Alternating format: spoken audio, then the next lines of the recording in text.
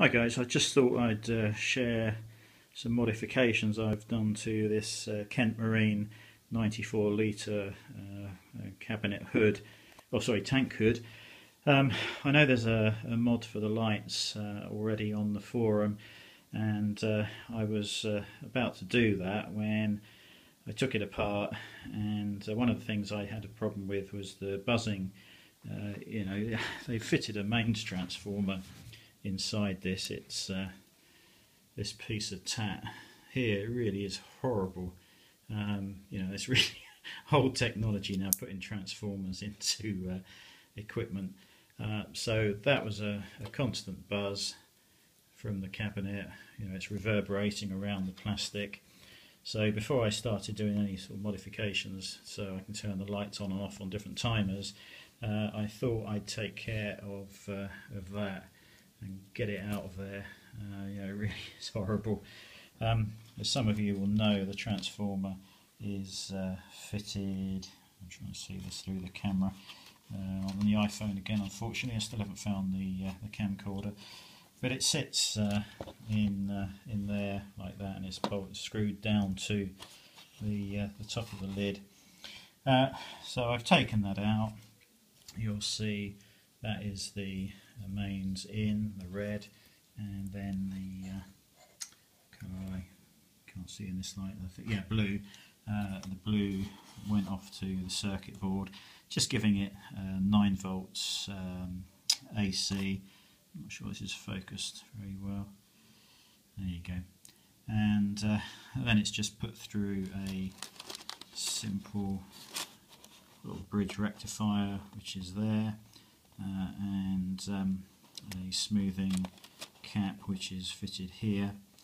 Now what I've done is uh, I've taken the transformer out, I've wired up the mains cable, soldered that directly, see if I can get this to focus again, soldered the uh, mains input cable directly to the PCB uh, before there was a little two pin socket that it clips into and uh, you know, the other thing, sorry I've shown you the wrong thing, it was into this.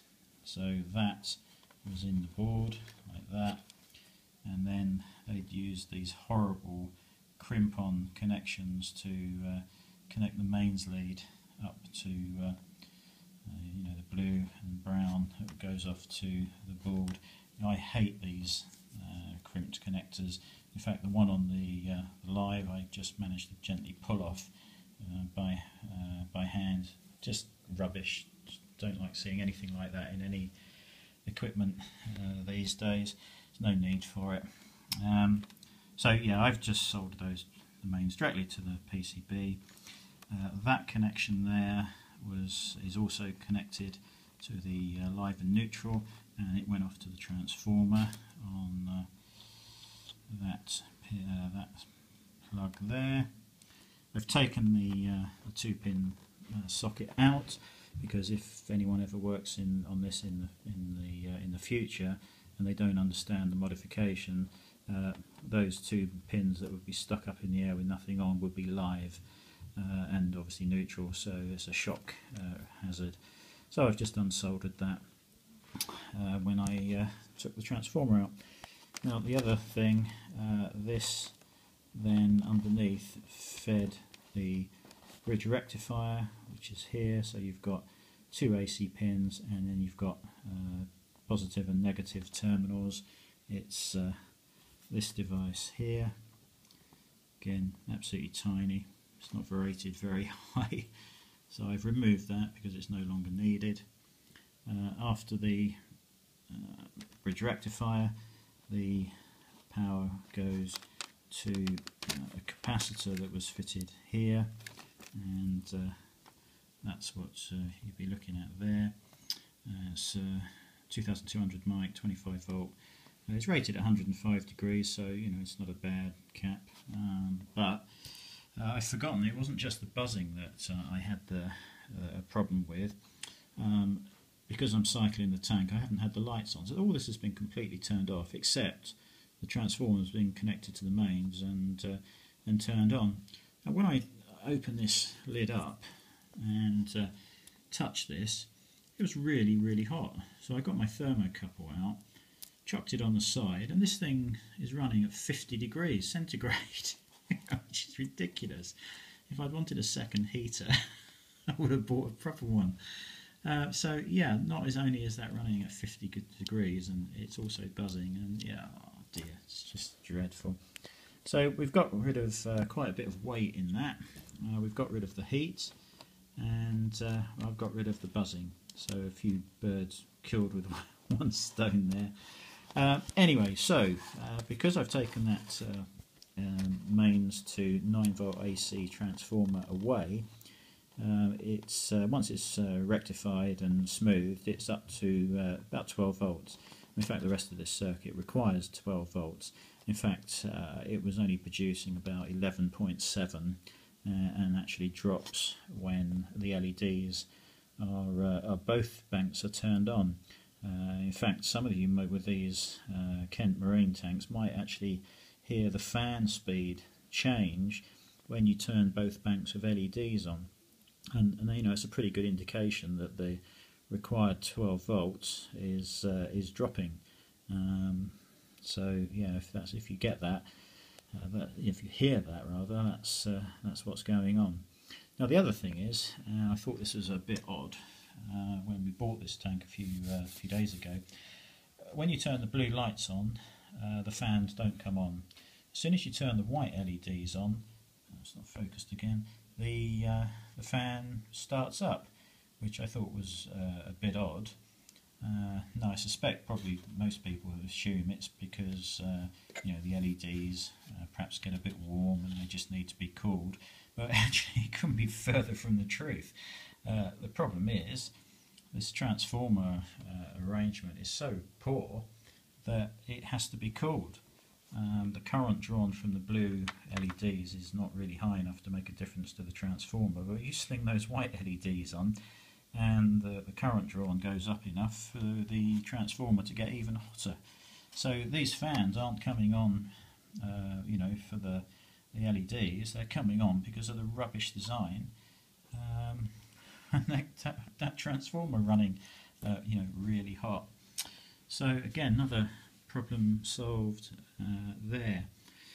Um, all I did was found a uh, 12 volt uh, adapter, if that focus, there we go. Um, so we've got a 12 volt 6 amp adapter, it's you know massively overrated for the job uh, hand, but it is a very high quality transformer. So and it's properly regulated. So if uh, on, on no load situation, if you put your meter across the uh, positive and negative terminals, you will find that it's 12.2, 12.3 volts. It's not one of these that sits there at 19 volts till it's got a load on it and then drops down to 12. Um, and that is exactly what I wanted. Uh, so what I've done is I've opened it up and I have used some uh, exterior rubberized uh, three core cable which I had over from uh, when I installed the central heating uh, over the summer. Um, got it in there, it's held in place with a cable tie and obviously it's soldered inside. I've left the lead really long, I've run it through the slot in the back, uh, I've gone through this rubber and uh, grab the other one whilst on camera, there's three of these fitted as uh, the other modification for the lights says. And what I did is I just drilled a small hole in the middle, sliced it open to the curved end, and then nipped some of it out with uh, side cutters. And uh, because this is a very soft rubberized cable, I don't have to worry about it sealing at the bottom end where the where the plastic is curved. The rubber of the cable will seal that, and then the bit I've cut out has pushed in. Hopefully you can see that uh, quite nicely. Uh, I've gone and got that off of a plug. Something I would mention is when you're doing these up, be very careful to hold the uh, plastic columns with your fingers because as you're tightening this up you're putting a fair bit of pressure, um, sideways pressure on these plastic columns and I would hate that to, uh, to snap off. uh, could be an issue for somebody. Um, now, I'm not recommending this modification to anybody. Uh, I just thought I would uh, share it um, in case anyone's got the equipment to do it. Obviously, you're going to have to have some skills: soldering iron, desolder braid, solder, uh, 12 volt, decent regulated power supply that you're going to have to crack open. So this uh, this mod probably isn't for uh, everybody. Um, so anyway, that 12 volt supply comes in on this rubberized cable and I have just connected it um, to the capacitor's position. The shaded area is negative, the unshaded area towards my finger is uh, positive. So obviously it's uh, you've got to get the polarity right or you're just going to send this lot up in smoke. Um, so that has now allowed me to operate the LEDs on a timer and I could obviously operate the T5s uh, on a separate timer. Uh, I think the other mod allows you to run both banks of LEDs individually. Uh, for me, that you know wasn't a massive concern. Uh, you know, in the future, I might um, rig up an Arduino. Uh, there's plenty of room to fit one in here where that transformer is now missing, or in fact the uh, the other side. Yeah, sorry, those white bits are um, a door seal that sticks in place, and I've just put it around to uh, you know dampen any vibrations from the fans. I'll, I'll talk about that uh, in a moment.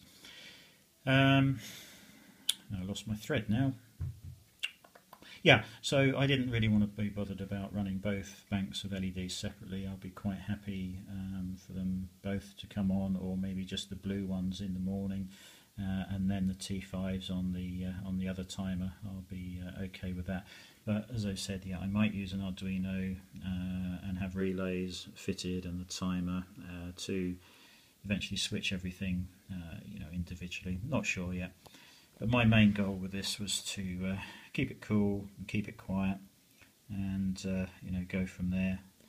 So the other thing I've done, uh, as you know, there's two fans. If I can zoom out a bit, um, there were, as you can see here, plastic slats going uh, completely. Sorry, I'm shaking this camera around. Completely going across here. I've left two in place just for bracing and hopefully a bit of deadening. Um, but one of the things I notice when you take this fan out from the top, lift it away from the, the hood, it's a lot quieter. So I've cut most of them out, just left two, and uh, that's helped. And uh, on the other side, I've done the same. Now, one of the things I thought was incredibly stupid, um, I don't know what anyone else thinks about this, but when this, uh, when the cover's in place, and uh, you know, as you know, there's a little um, sort of foam gasket that keeps moisture and uh, things out of uh, the electronics uh, side of things. But it's you know forming quite a nice, neat, uh, airproof, um, you know, box in effect. It's because it's you know the gasket goes all the way around uh, like that. So you've got both fans uh, and they've been wired up to suck air out. Well, if you've got two fans sucking air out of a pretty well, well near, sealed up box, you aren't going to be drawing much air out, and I suspect that will cause noise as well.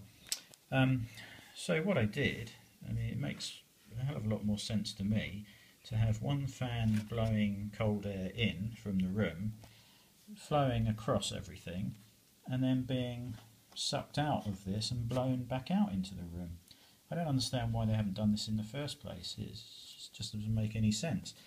Uh, you know, it's all right on a PC where you've got a really uh, much a larger fan uh, blowing out. It's because uh, there's air vents all over the place and it's sucking the hot air out, and cold air is coming in through various vents in the PC case. But you've got two fans blowing out, and um, I'm being really stupid, there's, there's no, no air vents or any way for air to get back into you know this enclosure you know when the lid's shut. Anyway, so I've, what I've done is I've taken both of these fans out.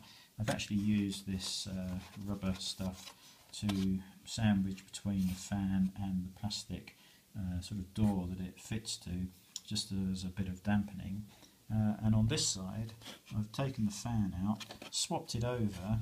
Um, you'll find that the screws then do not go in because the hole uh, is only recessed on one side. So I've just got a drill out and uh, just a fraction bigger than the screw head.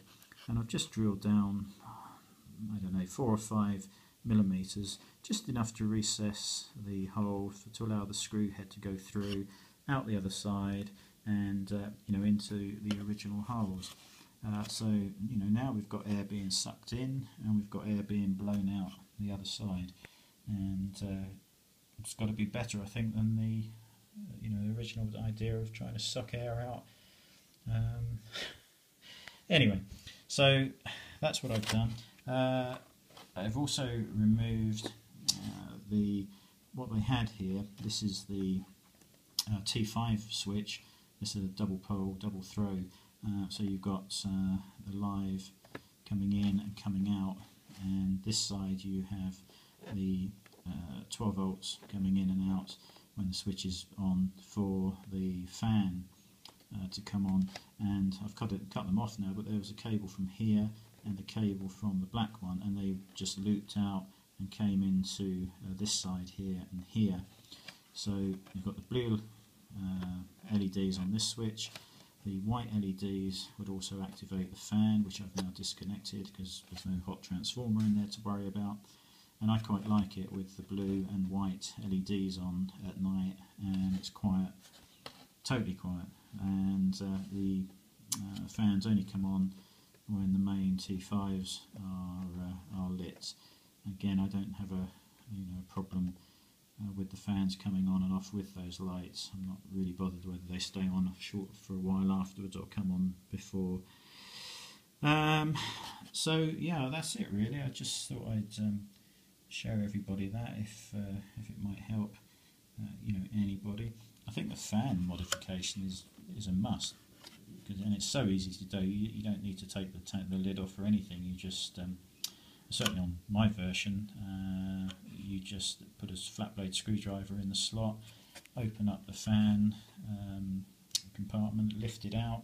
There's a little, uh, I think it's three and a half mil. There's a little uh, DC uh, socket and uh, plug. You just unplug it, unscrew the fan, turn it over, quickly sort of, you know, just drill some small recesses in the hole, and screw it back in and plug it in, and, and it's a, you know, job's a good one. Um, I'm sure these slats were restricting the airflow, obviously in and out now, um, so hopefully that will also help.